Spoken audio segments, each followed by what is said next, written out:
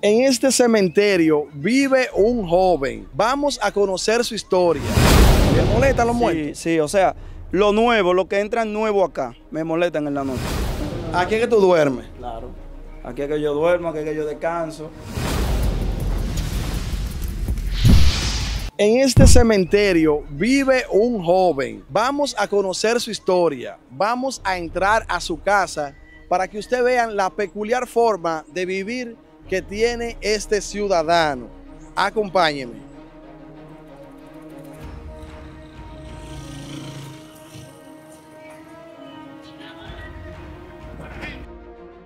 Aquí dentro del cementerio, mi gente, vive este joven en una casa dentro del cementerio. No es que es un indigente que no tiene donde vivir. No, él vive como viviría una persona normal, pero aquí dentro del cementerio. Vamos a conversar con él para que él nos explique por qué esta peculiar forma de vivir, por qué elegir vivir dentro de los muertos y no de los vivos. Bueno, nos encontramos con Juan Carlos. Eh, Juan Carlos, quien vive aquí dentro de este cementerio, eh, me ha sorprendido, vi el video en TikTok y me sorprendió ver la forma en que vive este joven. ¿Qué te motiva, Juan Carlos, a, a vivir aquí? La tranquilidad, la paz que hay aquí. Tú como que no sientes, como, como una tranquilidad, como que nadie te molesta, tú no le molesta a nadie. Aquí, ¿A quién tú le vas a molestar? Toda esta gente, está, toda esta gente está durmiendo. No, mira, una vez ellos estaban enterrando una, una persona cerca de mi casa. Eso eran como las 3 de la tarde. Cuando yo abrí la puerta, ay, ay, ¿Qué pasó? dejan el muerto solo ahí. Y yo me quedé como sorprendido. ¿Cómo Y- solo? Sí, solo, lo dejaron solo. Al rato, vi, vi- se- sí, no, ¿verdad? Al rato, no, porque que yo te voy a mostrar Mira, la eh, casa. eh, yo le voy a mostrar vente, la casa. Aquí se ve la casa, Sí, mírala yo, le, yo le voy a... Tú vives en este sector de rojo. eh. Exacto, exacto. Eh, yo se la voy a mostrar. Yo, yo se la voy a mostrar la casa en un par de minutos para que ustedes vean. Ustedes me van a decir, wow, pero ¿y cómo? ¿Cómo tú vivías ahí? Ok. Las personas, tú sabes que hay gente envidioso. Yo le, yo, la gente han jugado mucho conmigo por el corazón que yo tengo. Yo soy una persona que si tú necesitas algo, yo te lo doy aunque no pueda. Está bien, vamos a ver. Yo necesito mil pesos ahora mismo. Oh, chulo, venga. Eh, ¿Es verdad? Venga. No, no relaje, mira. En el otro bolsillo está. Yo no devuelvo. No, no, tranquilo. No, no invente. Ay, mi madre. Mire, yo se lo doy, yo se lo paso. Ya, ya tengo, ya, ya, ya, estoy- ya estoy ya estoy ganando en esta entrevista. ¿eh? Pero si usted me sale agradecido, le digo qué pasa. Usted se va. No, que Carlos, eh, eh, yo como que no le veo el vaina, pero ya tú te llevaste los mil pesos. Sí, porque tú me a estás me sacando en. Ya me estás sacando no, en cara. sí.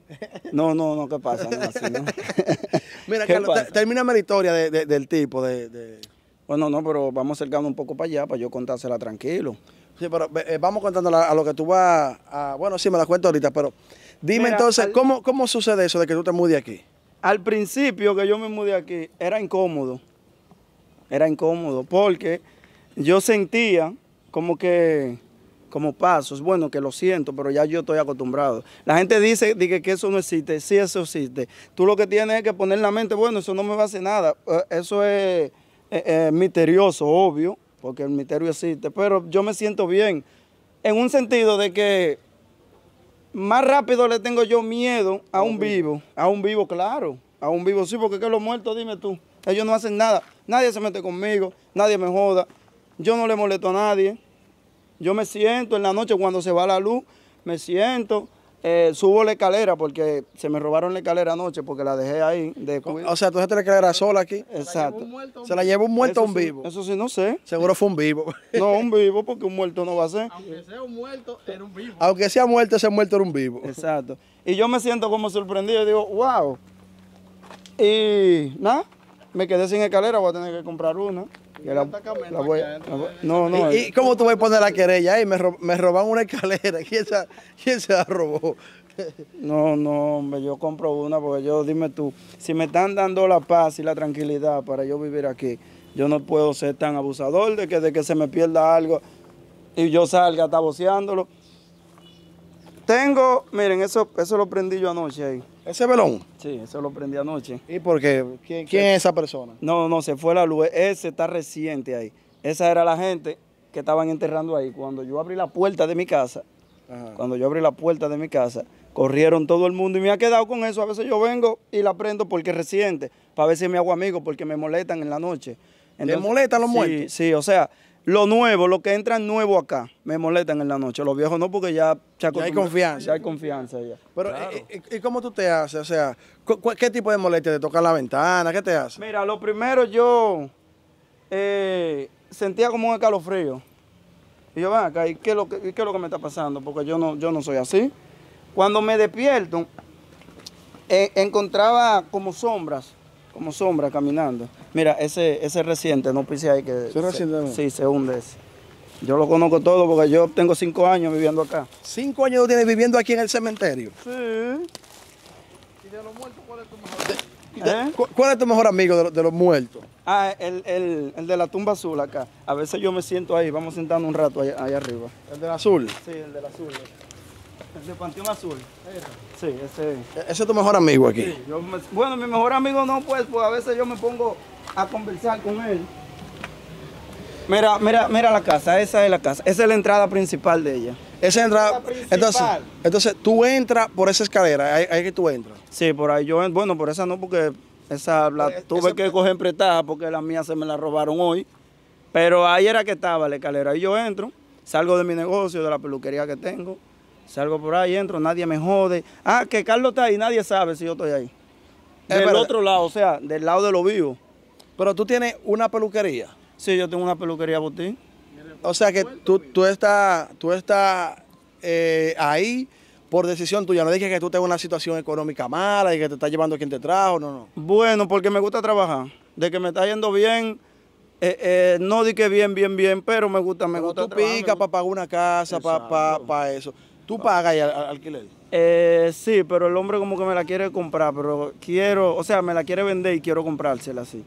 Ok, la, persona eh, que vive ahí, que el dueño de la casa la quiere vender. ¿Tú no te has preguntado por qué la quiere vender?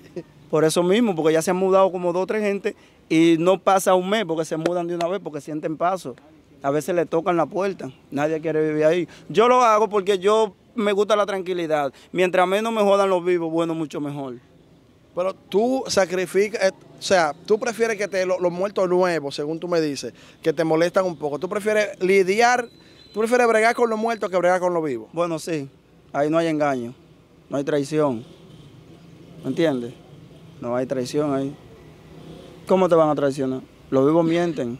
Bueno, todos mentimos. Tú sientes que, que es mejor entonces estar entre los muertos, vamos a decirlo así. Sí, bueno, en, en, en el significado de descanso, sí, me gusta descansar aquí. Aquí esta es mi área de yo relajarme. Cuando quiero hacer algo, yo me siento para acá y analizo, nadie me molesta. No, no haga esto. Porque hay a veces, mira, la gente quisiera verte bien, pero nunca mejor que ellos, nunca. Nunca. Ellos te dan un consejo y por atrás te dicen a Jolí le salga mal. La casa tiene otro frente para, para, para un barrio. Eh, sí, tiene, o sea, el balcón. Yo le voy a enseñar, vamos a subir. Hay un balcón, o sea, una ventana grande, que ahí a veces yo me siento ahí, cuando me siento como así solo. Yo me siento en el balcón, pero la entrada es esta. Esta es la entrada, por aquí es que yo entro. ¿Qué dice la, la familia tuya de, de que tú vivas así de- dentro de, de un cementerio? No, ellos casi no, o sea, nunca me han visitado. ¿No te visitan? No, no ¿Qué te dicen ellos? ¿Qué te dicen No, ellos? ellos me dicen que como yo, te- bueno, mi hermano, cuando yo subí el primer video, mi hermano se sorprendió, dijo, pero tú estás loco, pero que ni muerto vivo yo ahí. Muerto sí, muerto se- ya muerto no tiene lesión. No sea, para que tú veas la decisión tan, tan, tan vaina que yo cogí, que él me dice que no, que ni, ni muerto vive acá. Y yo me siento bien. O sea, tú te sientes, pero ¿cómo tú lograste eh, no, no alterarte cuando van esos supuestamente espíritus, esos supuestos espíritus a tocarte y hacerte Eso algo? fue un proceso largo. Yo duré como dos meses emborrachándome para poder, no, ¿verdad? Como dos meses emborrachándome para poder dormir, para poder acostumbrarme. Una vez se me quedó la puerta abierta y yo me desperté como a las 3 de la mañana porque se fue la luz y los mosquitos me estaban molestando. Cuando yo me paro, que la puerta abierta, digo, oh, oh. Ah, eh, entonces, ahí después dije que no, que no hay que tenerle miedo. Te apuesto que si hubiera sido en un barrio de vivo, me roban. Me roban, se me llevan todo. Sin embargo, esa puerta yo la puedo dejar así abierta y no me pasa nada. No, porque lo, dime tú, esos pobres muertos, ¿qué te van a hacer? Vamos, vamos a, dar, a, dar- a dar un recorrido por, por tu casa, a ver cómo tú entras, para que tú le muestres a la gente cómo, cómo tú llegas, cómo tú entras. Bueno, mira, eh, la entrada, la entrada ya la, la, la O sea, mostramos. tú entras por aquí, tú vienes por aquí, Ajá, por aquel lado. sí, entonces llega aquí, Entro acá, la escalera estaba aquí mismo. Subo normalmente. Por a cualquier hora, puede ser las 2 de la mañana, las 3, las 12. No tengo y miedo. cuando tú vienes borracho con un humo, va y pisa una, una tumba, una vaina. Una vez me caí, una vez me caí, sí. ¿Es verdad? Sí. Adentro, adentro de un vaina. Eh, no. Y mi madre. ¿Cómo tú vas a subir por aquí? Ven a ayudarte con la cama.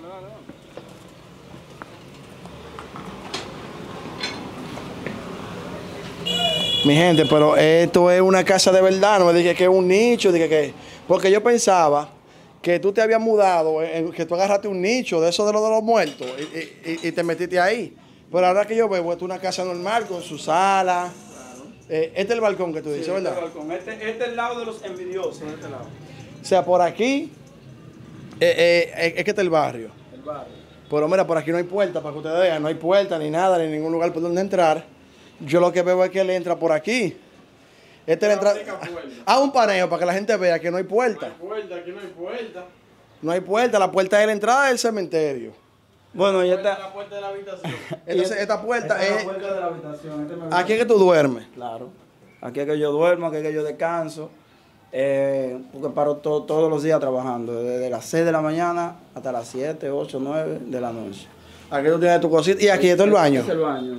Ah, porque hay mucha gente que me han preguntado en las redes, vi el baño, ¿cómo tú te bañas? Este es el baño. Ah, ok, es el baño. Es el baño.